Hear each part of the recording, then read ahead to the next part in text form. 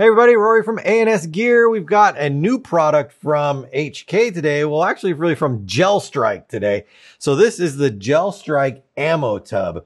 If you've gotten into the Gel Strike guns and you've had to deal with growing those Gel Strike balls, kind of like those Orbeez, you know, you can be uh, sometimes hard to find a container. It's hard to strain them out. It's hard to just keep them all in one spot without them going all over the place. Well, they've come up with a solution for you. So the ammo tub is collapsible. Looks kind of like this right here. So this will hold up to a gallon and a half of water inside of it, or roughly about 15,000 gel strike balls. That's a lot. So, I mean, think of just how much that is, how many shots that is. That's, that's a lot of play right there. So the tub itself does have a handle so you can carry it around. This expands out so you can make it bigger. And it's got two tops to it. It has a straining lid that you see right here. And then it's also got an, uh, a big open lid. So what you do is you're going to open the whole thing up and you're going to push the bottom out right there. So that makes your big bucket. And I can close that down and you can fill this up with water or you can just leave it open, fill it up with water, dump your Orbeez and I keep calling them Orbeez because I'm just used to calling them Orbeez. Dump your gel strikes down inside there and then let them grow the three to four hours that they need.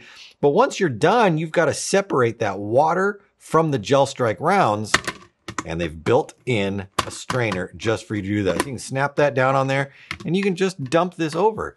Now it's got a little handle on the bottom right here. So you can grab onto the bottom of it and you can tilt it just like that and strain out the water. With that little built-in handle down there, it makes it really easy to just tip it and dump all that water out. It's also got a little hanging rack. I think you could maybe hang this and dry it, I guess. I don't know really what that's for. It's a little tab for something. Could, it looks like something you could hang from. Anywho, um, when you're done with it for the day, make sure your handle's up and there's boop, collapse it on down. And then it stores away nice and easy. Again, this will hold up to about 15,000 rounds. And I was using this the other day. So I've got one that's full right here. So I open this up. You can see that I've got um, a bunch of them down inside of there. There we go. Now this might look like it's just a bunch of water inside there, but as soon as I move it around, you can see that they're inside there. And if I stick my hand down in, look at all those. When they're sitting there just in the water, it's really hard to see. It looks like it's just kind of water with maybe something sitting on the top right there.